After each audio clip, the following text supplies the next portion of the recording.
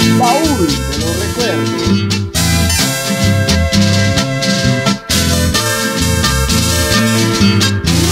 Baúl de los recuerdos.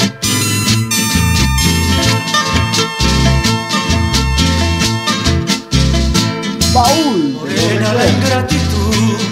Ay,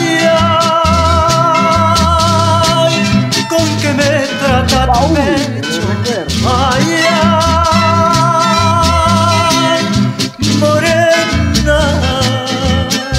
azul de los recuerdos hacen que de ti me aleje, ay, ay, ay, ay, ay.